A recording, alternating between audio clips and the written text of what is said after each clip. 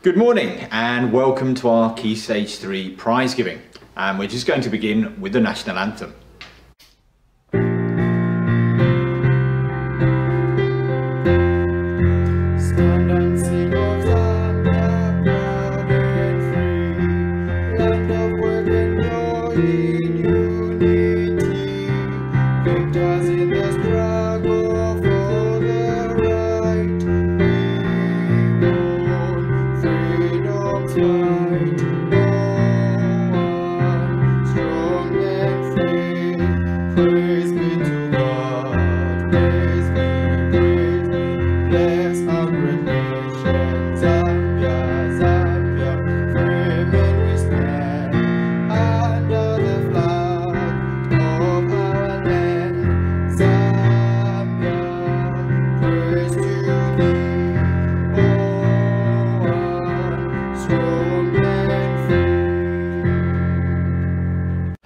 Our first batch of prizes this morning is the Year 7 subject prizes. These have been awarded by students' teachers and they are for either effort, attainment or improvement. With the exception of the Merit Awards, all of the recipients will be receiving a trophy for their efforts. So our first subject prize is for art, and for attainment, it goes to Ziben Huang. Design and technology, the award goes to Brendan King, and that's for progress. The English language award goes to Jasmine Smith for attainment. Food and nutrition, Alana Watson, also for attainment. French, Mehak Azim for attainment. Geography, Lara Hoskins for effort. History, Lushimo Simitiaba for attainment. Information technology, Fernando Rodriguez for effort. PE, Maya Shahadi for effort and attainment. Science, Aryan Desai for attainment. Mathematics and music both go to Quinn Stuckey for attainment for mathematics and effort in music. And the Grit Award goes to Debwitso Ndolovu. Merit Award, Lushimo Simitiaba. And now we're going to have a piece of music performed by our Year 7 students and the piece is entitled Ode to Joy.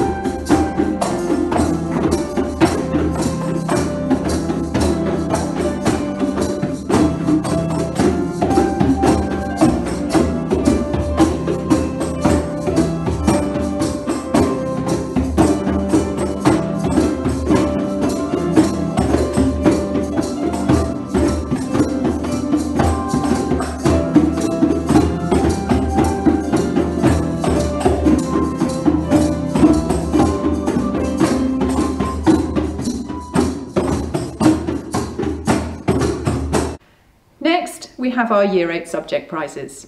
And as for the Year 7s, these are awarded for effort, improvement, and attainment. Winners will receive a trophy, and Merit Award winners will receive a certificate. Thank you very much, Mrs. Hoskins. And on to our Year 8 subject prizes. And first up, we've got our Art Award for this academic year. And the winner goes to a young lady for her outstanding attainment during the course of the year. Congratulations, Alana. Next on, still within the same sort of subject area, we've got design and technology, and this one goes to a young man, again for his outstanding attainment during the course of this year. Congratulations, Noel, for the award for design and technology for this academic year. On to English language next, and again, an outstanding attainment award winner here, and this award in this academic year goes to Faye Wiley. Well done, Faye. Moving on to ICT, Again, for outstanding attainment, clearly the first four students have been working incredibly hard and achieving very, very high results during the course of the year. But it gives me great pleasure to announce the ICT award winner for this academic year is Manette Cameron. Moving on to music, and a slight change here. It's not for outstanding attainment, for outstanding effort. The music teacher, Mr. Wember, feels that this young lady has worked and really tried incredibly hard this academic year. And so the award for music for this academic year goes to Tabani Moyo.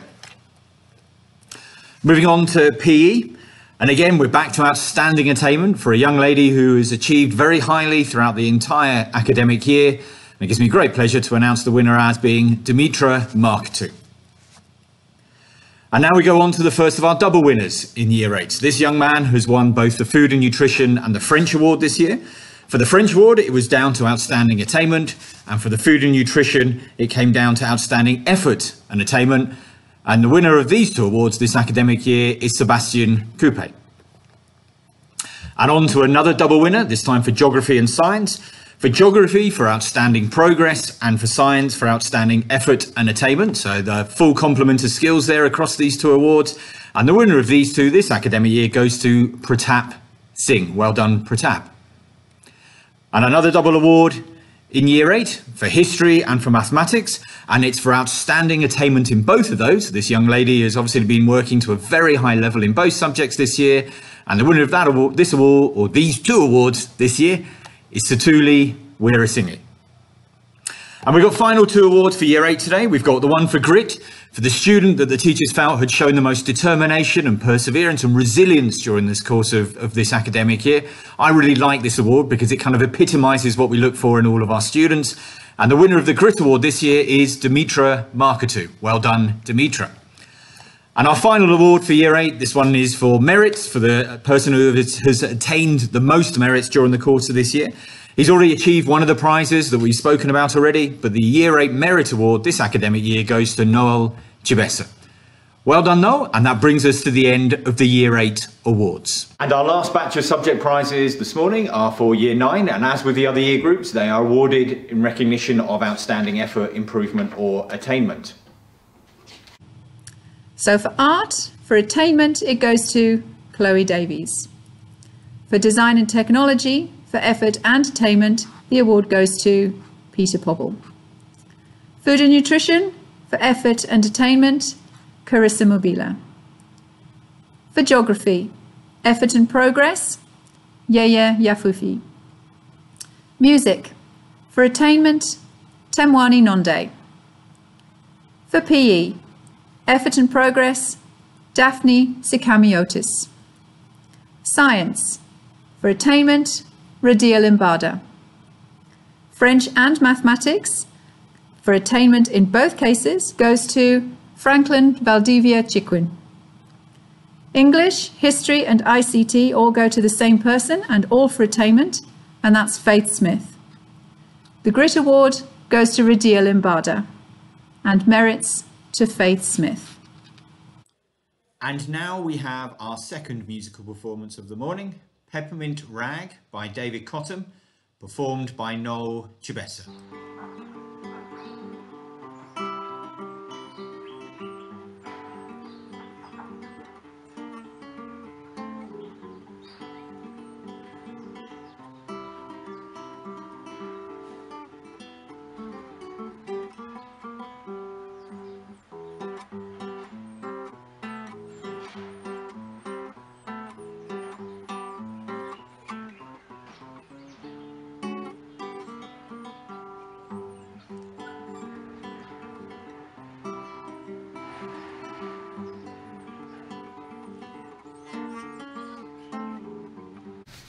During the course of this year, we have had a number of students who have completed 10 years at Baobab College, and we're now going to recognise them. Thank you very much, Mrs. Hoskins. And we've got a long list of students in years 7, 8 and 9 who during the course of this academic year have completed 10 years as Baobab students. So we'll start off with our year 7 students. So first of all, we have Aryan Desai, Brendan King, Kelvin Mishimwa. Also in year 7, Marcus Finley, Maya Chahari, Trisha Bashak and Seth Marston. So between them, the 70 years as Baobab students um, completed during the course of this year. Congratulations and well done, guys. Into year eight, we have Amina Lulat, Dimitra Marketu, Evangelos Marketos, Faye Wiley, James Hall, Jason Street, and Michael Still. Again, A massive combination of 70 years of continuous service at Baobab between, between those seven students. And into year nine, we have Kalenga Sachula, Maddie Dakik, Medea Syed, and Radia Limbada. So a big total there of 18 students who have completed 10 years as Baobab students during the course of the academic year. Congratulations, guys, and we look forward to the remaining of your school career being with Baobab as well. And now we're going to hand over to our head girl for 2021, Tabea Credolfa. Ten years have been spent at this beautiful school. Ten years of memories have been made. While some have felt longer and some shorter, some have been harder and some easier, and some I remember better than others. It has been time well spent. To commemorate this time, I thought I would share one memory for each year, starting with 10, the nice round number of years that I've spent at Baobab. Next is 9, which represents my last year of oblivion. Sometimes I wish I could go back to year 9 when I used to walk around the science block seeing the be quiet signs or hear Mr. Turner wishing the older years good luck with their exams. But I never actually knew what that meant until I went into it myself. It's crazy to think that something so all-consuming for one student is merely a bit of background noise for another. Eight is for the number of years I spent dreading swimming lessons. My word, I remember it as if it were yesterday. Lining up, the knot in your stomach building, and the hairs on your arm already standing up merely at the thought of getting in that cold swimming pool at 8 in the morning. Oh, I really, really hated that. But then I got to senior college and PE became a lot more relaxed, thankfully. Seven is for the year where my life at Baobab changed the most. All of you in secondary know how it is. It's that terrifying feeling of going from being the big cool fish in your six to being the small one that always puts up its hand in assembly. You also become the fish that everyone looks at and says, oh, they're so cute. In the end though, year seven, just like the other years, eventually passes and you too become a year eight and marvel at the cuteness of the year sevens. Six is for the number of letters in Falcon. Letters which I used to shout with passion as house captain in year six. Give me an F! Give me an A! And so on. But the word Falcon means so much more than that now. It means togetherness, house spirit, and even family. Five is for the number of people, give or take, that I had in my close friend group. In the Baobab community, people are constantly coming and going, and that's just something that you learn to live with. But I have been so blessed with some amazing and wonderful friendships that have helped shape me into who I am today. I was in year four when I first joined Baobab. Primary school holds a lot of special memories. Memories of my many wonderful teachers, memories of begrudgingly putting on my hat for break time, and the list goes on. It was a world full of boy cooties and friend drama, but I loved it so much. Three is for the number of times that I should have sat my exams, but in the end I only sat them twice. Not gonna lie, I wasn't too unhappy by the end when our exams were cancelled last year, but I am relieved to have sat them in this past year, although that is something that is better said in hindsight. Two is for the number of times that I packed up my belongings and left to Switzerland much earlier than planned due to COVID. Here's hoping that I won't have to do that again. And down to one. That's for the one year that I've spent up in Zambia without my family. I got to spend year 13 living with the Hoskins, which has been such a blessing and so much fun. Just like my time at Baobab, it is something that I will never forget. And as for zero, well, that's where I am now. You could call it ground zero. In a way though, we're all at ground zero, a point in our lives where one chapter ends with another one just about to start. Some of us are graduating and starting something completely new and foreign and daunting, but also absolutely thrilling. Others may be leaving Baobab for another reason, ready to take on new adventures elsewhere. For some, it may feel like just the end of another school year, with the next year only waiting to be slogged through. But think of the opportunities, the experiences, and the memories that this new year will bring. While most of us have a rough idea of what next year could look like, we can never know for certain that it will turn out the way we had planned. I mean, if COVID has taught us one thing, it is that. But that's the most exciting part of it all. The mystery, the anticipation, the hope. That's what will carry all of us from ground zero into new and unexplored land. Although you've probably heard this cliche before, life is like a journey. What we have experienced in the past is what we take with us into the future. For me, a big part of that is the time that I've spent at Baobab. For you, it may be that too, or it could be something else. Whatever it is, though, we are all parts of each other's journeys in some way or another. So thank you for being a part of mine. And now at this stage, I would like to hand over to Mrs. Noble, the principal, for her principal's address this morning. Now, for some of you whose favourite subject is English, you will know that a play on words using lots of words in a row that are starting with the same letter or sound is sometimes called alliteration. So I thought I would have an attempt at trying to find a sentence that summarised this year using alliteration, and I've used words that begin with UN. This year has been unpredictable, unprecedented, unparalleled, unrelenting, unusual, unforgiving, unfamiliar, and uncertain. But it has certainly not been underwhelming. Now, those of you who enjoy words might want to make up your own sentence that you think sums up 2020 2021. A very unusual year for all of us. Back in August 2020, we started the new academic year with great hope of returning for what we would consider to be a normal year at Baobab College. But very quickly, some of our expectations, hopes, and dreams became a little unhinged, to say the least. We bounced out and in school over the course of this year, but we must still count our blessings and our good luck in 2021 as it continued to be a year of firsts for Baobab. Although it was our first examination session where everyone had to wear masks, our first year to play and work only in our year group bubbles, and our first year to not be able to compete in competitive sport. We also had many other positive first experiences.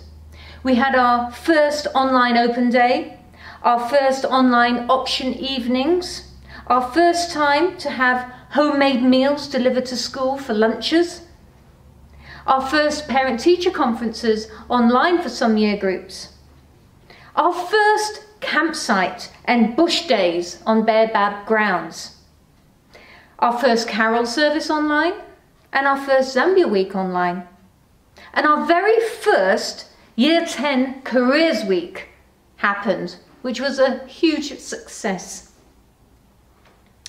The year has continued to ask us to innovate and change, making us more flexible and creative in our thinking.